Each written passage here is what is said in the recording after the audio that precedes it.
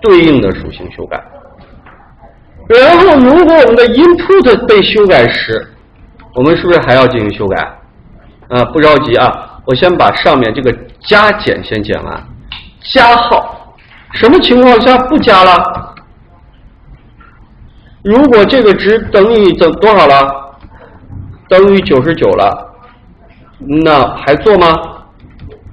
是不是不做了？那如果这个值等于一时，还往下减不减？不减了，是不是？我是不是要做这个处理啊？那就是说，在如果是一就减不了，加可以，对不对？是这样吗？好，那这个步骤是不是就处理完了？下一个就是 input，input 是什么呢？输入的时候，输入的时候，我们要求不能输入什么除数字以外的值内容，怎么解决？对，正则，嗯，this 点 value 点 replace，是不是？this 点 value 等于一个 this 点 value 点 replace 什么值？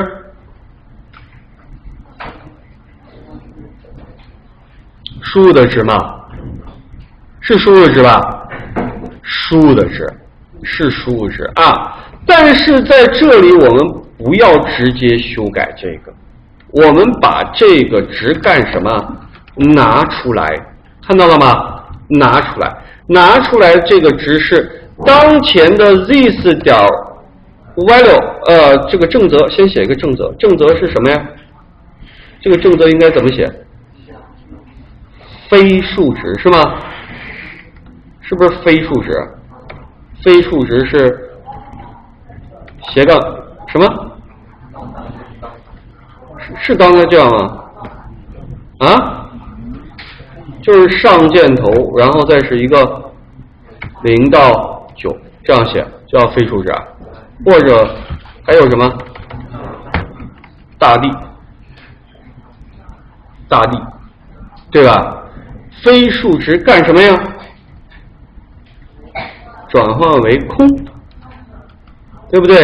转为空，然后再把这个值我们需要转换成什么呀？number，number，转换 number 是不是我还需要判断这个 number 值是不是大于九十九？如果 number 值怎么样大于九十九时，我让 number 值等于九十九。如果说 number 值小于一时，我们就让 number 值等于，没错吧？这样写完了，写完了以后干什么呀？还跟上面这个操作一样，我们也需要让 input input 点 stop number 等于一个 div，然后底下这里做的时候修改完了，是不是？数值修改完了以后再干什么呀？this 点什么呀？stop number 点什么？set date 里面的值设为多少？number 设为 number，这个时候设为 number，它就会到哪里了？是不是到这里了？是不是到这里了？一进入到这里，我们就把 div 的 stop 值修改了。并且呢，把它的 value 也修改了。我们看一下会不会？当我在这里输入一个七，是不是输入了？如果输 a，哎，没有替换了，啥原因？我们在这里看一下这个。是 set date 啊，就是写错了 set date。我们看一下这个 number，看看这个 number，终于给一下 a a a a a a a，没效果吧？嗯，敲敲也没效果，看尽管敲，敲也没效果。哎，这里一输，你看这一输输，哎，二十三啊，一删删不掉了，不能到零，啊，能能加，但是你要是再给大一点，二十，哎，这一加一二九，是不是就不行了？啊，你要把第一个要改了，就是四六，这可以。然后呢，六十七零就变成九十九了，对不对？那，五十四点加号，五十五点减号，五十四，哎，棒棒的啊，做出来了。嗯，啊，我们发现啊，这个还是跟刚才一样啊，也是修改什么呀？数据影响改变啊，我们再把这一块再给大家，再再再再往下过一遍啊，重新过一遍啊，刚才这个操作重新过一遍啊，来我看一下啊，嗯，首先我们这里是创建一个 div。并且让这个 div 怎么样相对定位，这个没有问题吧？然后创建一个 left bn，创建一个 right bn，创建一个 input 三个东西。left bn 和 right bn 分别放减号和加号，然后设置 bn 的样式，针对 left bn 和 right bn 都用这个样式，对吧？然后又设置 input 样式。针对 input 用它，input 点 value 等于一，默认让 input 有一个初始值是一，明白吗？然后再紧接着把这三个东西哎放上去，放在 div 里，就是外面这个大的容器嘛，放在外面这个大容器里，对不对？然后紧接着我们在这个 left bn 呀，right bn 呀，还有 input bn 呀。我们都给它同一个什么？都给它同一个属性，stop number 属性，它的属性是谁？div 就是外面这个谁呀？就是外面这个大容器，就是哪一个容器？是不是就是这个容器啊？是不是就这一个东西啊？就是这一个东西，对不对？就是它这个容器，就是这一个容器。那么这一个容器。放上去，这一个容器放上去，放上去以后，紧接着呢，我们在这里给 log 边增加一个真停事件，给 read 边增加一个真停事件，给 input 增加一个真停事件，分别真停是 click 和 input，这几个都没有问题，对吧？然后再紧接着呢，我们注意一下，log 边、read 边和 input 它里面的 start number 都是谁呀？都是这个外容器是吧？是不是都是这个外容器？啊？好，那么我们会给这个外容器增加一个属性叫 stop，stop 值等于一，stop 值等于一。然后我们都增加了一个方法，又给这个 div 增加了一个方法。这个方法呢，你可以在这里设置属性，当然也可以设置方法了，是吧？也就是说，stop date 等于一个。function 跟一个函数，允许你往里头加入一个参数。你一旦调用这个 start date 的方法时，把 number 传进来，它就会将 div 的 stop 值修改成你这个 number。div 就是谁？就是它嘛，对不对？也会将 input 的什么值？value 值修改为 number。那是不是就会改了，对吧？好，那么紧接着我们当点击谁呀？B N 按钮的时候，如果是加号，我们判断当前的 this 点 start number，当前 this 点 start number 是谁？是不是这个 div？判断这个 div 的什么？step 值是否等于九十九？如果等于九十九，就跳出。有人说：“老师，那你为啥不判断一百以上呢？你为啥就判断个九十九呢？”因为这是啥？这是加号，是吗？加号判断的时候，它需要判断一百以上吗？不需要。为啥不需要？因为你在这里这么加，累加最大只能加到九十九，你根本就加不到一百去，对不对？是不是？有的人说老师，那你这不对的，你可能在里头输一百零四，然后你再加，那跟他加号有啥关系？输一百零四，那就在输入当中控制去，让加号控制它干嘛？是不是？输入的时候我就不允许他输一百以上的，那它还能输入一百以上吗？根本就不可能了，对不对？所以这个东西叫分开想，你不能去考虑什么一百以上的加号，它是逐个加，所以只到九十九。而我们就会把当前的这个值加一付给谁呀？set star，set state，付给 set state，执行它里面 set state，一执行是不是就将这个值给 state 值了，并且干什么呢？设置 input value 了，所以这就没问题了。那如果说是我们在这里点减号了呢，就让它减，如果等于一。就不不减了，等于一就不减了。下面如果你输入呢，输入在这里判断，先做什么东西？正则去除输入当中的所有的什么东西啊？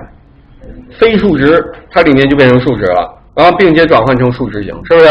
如果这个数值大于九十九了，我要让它等于九十九；如果说小于一了，我就让它等于一。啊，这样我们把值判断完，然后并且设置当前这个 div 的什么呢？set date 只等于多少？any number 就可以了，any number 都可以了，听清了吗？听清我说意思了吧？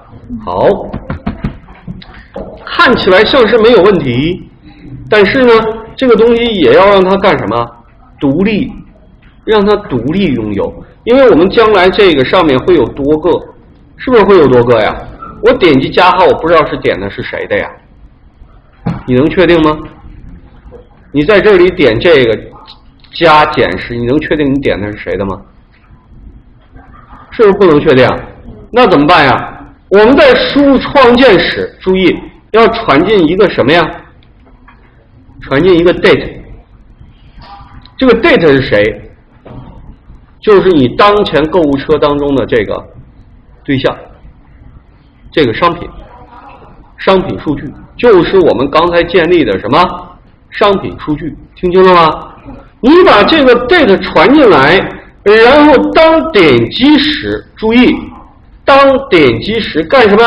写一个什么呢？where event 等于一个 new event，等于一个 new event，event 当中这个名字，事件名字。因为我们现在这个不是 ES 六普通的，那写的时候我们把事件名称写到外面去，写在这里，那写成一个什么呢？cost。起一个这个意思叫什么呢？change。修改。什么？step number 杠 event，它等于一个 change 杠 step。number 杠 event 这个字符串，我们就在这里把这个事件干什么？是不是可以抛出去？那 change 它抛到哪里？给谁抛？仍然给 document 抛，并且这个 event 当中，你需不需要有一个 date 数据啊？需不需要有一个 date 数据啊？是不是需要有一个 date 数据？是需要有一个 date 数据吧？好，我们需要有一个 date 数据，这个 date 数据就等于哪一个呀？上面你传进来的什么呀？date，是不是？并且呢，还要放入一个当前你修改了以后的值。你修改了以后的值，然后对 document 点 dispatcher event 抛出这个 event，嗯，这个就做好了，这个就做好了。我们来尝试一下，来尝试一下，在上面这一块儿我们在这里执行 init，然后底下这一块呢，我们做一个侦听，侦听。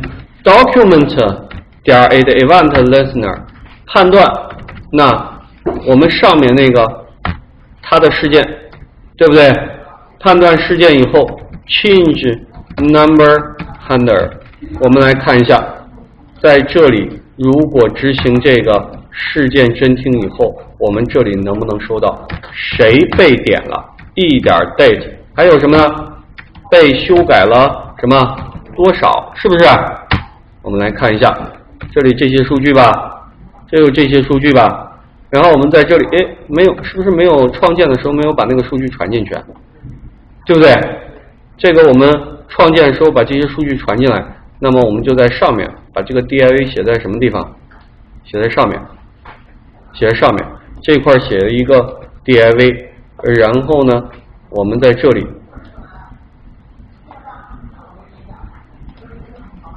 我们在这里啊创建数据的时候。我们没有购物车数据，是不是没有购物车数据？现在先传谁的数据？假装他的数据，行不行？行不行？假装他的数据传，来我们看一下。当我在这儿，这是不是所有的？这个是对应第一个，这个是对应第二个，这个是对应第三个，这个是对应第四个，对不对？然后底下还有是吗？现在你看，我修改这个，我点这个啊，点这个。那对应的应该是邦宝适这个尿不湿一点，看是不是邦宝适尿不湿？是吗？然后是不是修改多少？二是吧？我再点一下，我再点一下，哎，修改多少？三还是邦宝适尿不湿是吧？我修改是六十五。是不是帮版式修改成六十五了？我修改这个，修改成二十三。那我们看一下这个，这是什么？鼠标修改数量多少？二十三个。这是不是刚好就和购物车当中那个商品干什么呢？对应上了，我就知道要修改谁了，是吗？我就知道要修改谁了。OK。好，这个就完成了我们的 start number。这个写的还是比较简单的，嗯，为啥呢？因为我们还没用 ES 六写，拿 ES 六写，那里面就要给它变化一点，写出来就更好一些了啊。我们永远记住，我们写的这个东西，它一定是干什么？独立的。因为只有独立，它才能应用到各个上面去，它才能在使用时加减时都会报给谁呀？报给外面，那不单纯是一个 input 的概念了，而是一个组件的概念。听清楚，这是一个组件的概念。OK，好，这个要求大家自己去理解了。刚才我还没写成那个，还在给你翻滚呀。那那效果，那这个玩意儿就更多了，对吧？